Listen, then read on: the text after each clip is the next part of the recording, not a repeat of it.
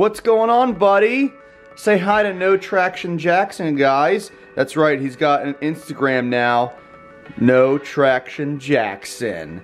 And he's a little tired today, aren't you, buddy? Yeah, you look really tired, don't you? Alright. We're gonna go install some parts in the truck. High five? That's a good boy. So just a few things in my P.O. box here before we get started. This one's from Mr. Ivan Huber. Looks like there's a little guitar keychain in here. It says, uh, hey Nick, my State Farm insurance agent uh, in Nashville, Tennessee offered these keychains to a few of her customers. I saw this and thought of you. Love your channel and have been following for a while. Look at those little State Farm, that's pretty cool. It's a little LED light. Those are convenient to have on your keychain. Sweet, thanks Ivan and Gina, who is the agent for State Farm. Andrew Campbell sent me something here. He's been a fan since day one, watches all my videos. His VIN Wiki name is the infamous Andrew. Uh, it's available on the App Store. Sent me a ton of business cards. It says they're changing automotive history. So I just looked up the app real quick and it seems like what it is, is you can um, put in the VIN number of your car and you can basically create, contribute to, and curate vehicle history reports. So, you know, if your car has three, three different owners and they all wrote stories and everything and put photos up of the car, you can look up the VIN number of the car and it'll show the entire history of it.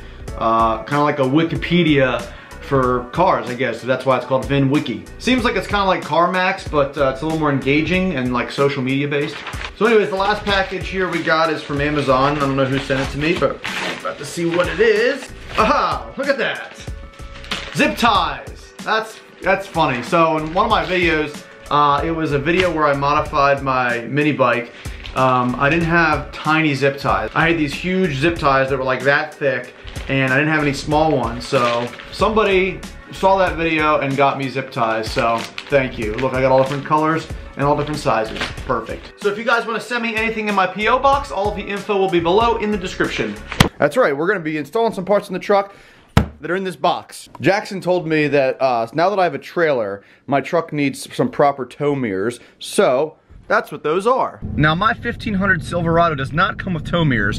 Instead it comes with those, just the standard mirrors right there as you can see. So when you're towing a trailer as big as mine or even bigger, it can get hard to see around the trailer. And I did struggle with that when I uh, drove it home last weekend. As if you guys have not seen the video, go check it out. It was a nice little April Fool's joke I played on all of you that I'm sure some people are still a little salty over, but oh well, they'll get over it. So the 1500 I have is not fully loaded. It's not the LTZ, it's the 2LT. Now it does have essentially every feature that the uh, LTZ has with the exception of a few, one of which is the turn turn signals on the rear view mirrors. Now these, these mirrors that I have are powered and heated, but the new tow mirrors that I bought are everything. They're powered, they're heated, they have a turn signal on the front and on the mirror, and they also have the uh, reverse light, the like the LED reverse light on the mirror. So I may end up running into some issues hooking it up, but from what I read, you can do it. You just need to modify the wiring a little bit on models like the ones that I have if it's not like a fully loaded model. So I'm pulling up to my dad's workshop right now because dad's got way more tools than I do. Okay, got the truck in the garage and here's the new uh, rear view mirrors. And as you can see, this is the tinted part I was telling you about on the front there. And then if we turn it around where the actual mirror is, you can see there's the turn signal lights right there and then here's the uh, reverse LEDs right there. And uh, they are heated and powered. As you can see there's the little heated symbol up there in the corner. So like I said these are a direct replacement.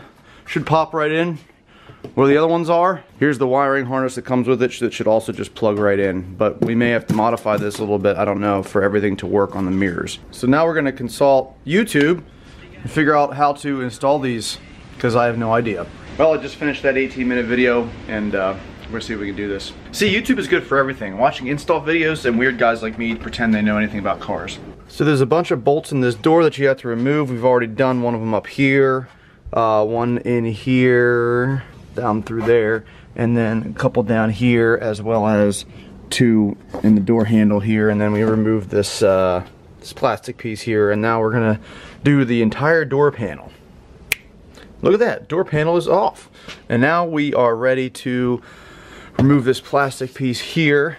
And once we do that, it'll expose the three bolts on the other side uh, of the mirror. Already got the black plastic piece off, got the three bolts for the mirror and the harness is unplugged. So we're gonna go ahead and pull the mirror out. All right, now that one's off. So we're gonna go ahead and install the new one. And I've also kept these little plastic pieces here. This is, we're gonna use these to tie back the new wiring harness. It's gonna plug into the factory one right here. All right, there's the new one. Go ahead and push, push it a little bit. A little bit more. All right, that's good. Yep, that's in. Go ahead and feed the wire through the other side there. Alrighty, we got the mirror bolted in. The harness is ran. We'll click the harness in. Alrighty, so we got the door panel and everything back in, and there is the mirror all hooked up. Fits perfect, obviously, because it's a direct factory replacement. So now we're gonna do the other side. Alrighty, guys, so we got both tow mirrors installed. I didn't show us putting the second one on because obviously it was the same as the first. Um, now, they look awesome. They are great quality. They're definitely gonna serve the uh, purpose that they're meant for. However, as I assumed in the beginning of this video, not all of the functions work on the mirrors because this truck is not fitted with the correct wiring harness to work with this. Like I said, my truck mirrors, the stock mirrors only were heated and powered. Uh, these are heated, powered. You got the um, this reverse light here and then the turn signal there. And on the front here, this is actually uh, just like a parking light.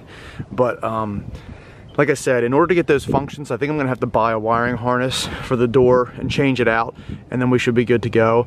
Right now, it doesn't even really, I can't get it even to work correctly at all. So I just kind of manually set these, um, the mirrors so um, I can use them for now and then once I get the wiring harness I'll hook that up. There's a guy that did a very in-depth video and a lot of trial and error on upgrading these tow mirrors on your Silverados and um, he actually makes a wiring harness that I'm gonna buy. So I'll let you guys know once that gets done in a later video. If you guys are interested in these mirrors, you wanna check them out, the Amazon link will be down in the description for you guys. I just got them off Amazon. There's a ton of mirrors you can choose from. Uh, for your truck. So um, like I said, the link will be down below there. So I'm currently storing the uh, trailer in my parents' backyard. There's my dad's little trailer he has there, only because it doesn't really fit in my driveway. Uh, well, I mean, it fits in the driveway, but um, this is a lot more spacious and I have a lot more room in my driveway for my other cars. So it'll stay here for now until um, I'm ready to use it um, for like different events and stuff. And I'll take it back to my house and load it up and everything like that. But for now, I got some tie down straps here that uh, we're gonna throw in the trailer. So they're ready for the next time I use it with a car. And um, these things are pretty awesome. I got these on Amazon as well. I was looking at different kinds of straps. There's like different companies that make really good stuff. Macs is a really good company I found that makes really good straps. And one, the cool thing about these are it's a direct hook on the ratchet there. As you can see, there's no ratchet strap and hook. So um, that will allow for a lot easier to use the ratchet so it's not like under your car. You know, if you have like a hook here, the strap, and then the ratchet, the ratchet might actually be under the front end of your car and then you're hitting it and you're trying to like tighten and everything. So I got these, plus it comes with the bag. It's really nice. Um, I'm gonna use some white tape to mark where the tires go here. And uh, that way I can load the trail, I can load the car perfectly every single time. Once I figure out where the car sits the best in the trailer, you know, I'll use this white tape to, to mark it. So we'll leave all this in here. The nice thing about this is I would normally be storing all this in my garage, but now that I got a trailer, it's like having a second garage. So we'll throw it in here. There we go. Now she's ready. So yeah, I'll probably store most of my stuff in here uh, that I take back and forth between events and races and everything like that. So I'll have less clutter in my garage. Plus it's here, it's easy accessible, and I won't forget it because I'm notorious for forgetting stuff. I'm also probably gonna be getting a winch as well as a generator for the trailer. Uh, yeah, I can keep it hooked up to the truck, you know, for power and everything like that, but I don't want to drain the battery when the truck's not running, so I'd rather just get a generator. You can buy ones that are like really, really quiet and small, so um, once I find that, I'll probably get one of those. Um, other than that, I mean, it, like I said, the trailer is, is, essentially finished. I don't really need to do any work to the interior. Just need to buy some things to kind of customize it. And I'll have all my gas cans down here in the uh, cabinets anything else that I need to take to the track that if I would need to work on the car or have anything there, I would store in here. The nice thing about it too is when we're at events, a lot of times we're staying over, you know, a night or two and leave the cars out, all of our stuff and all of our, our, tent and everything. The cool thing is I'll be able to put everything in the trailer and store it in here and lock it up. So I won't have to worry about, you know, taking stuff back with me or putting it back in the truck and going back to our hotel room or whatever. So this will be really nice. It'll kind of be like a mini mobile home for um, for events and stuff. Some people were also talking about doing an airbag system on the back of my truck, and that is something I have already thought about. Before I even got this trailer, I was thinking about it. Uh, but the truck rode and sat so nicely with the with the trailer empty. Um, I don't really need it until I find a reason to have it. Until I tow my car and really see how the trailer sits and feels, um, I'm not gonna do anything like that. If I find that I wanna get it, then I probably will, but um, it is something I've been thinking about. A lot of you guys were saying that in my last video. Alrighty, so lock the trailer up. I got all these freaking keys on my keychain now. I got trailer keys, trailer locks. Nice thing is got, it's got a deadbolt and it has a handle lock as well. Can you say extremely dirty truck? Yeah. Oh yeah. Yeah, it's hard to keep this truck clean driving in and out of work, especially when it rains or snows or any sort of weather. Hell, even when it's dry, it's like extremely dusty. But that's what trucks are for. The truck's supposed to be dirty, right? So that's what the mirrors look like on the inside of the truck. Like I said, um, that bottom part's manually adjusting.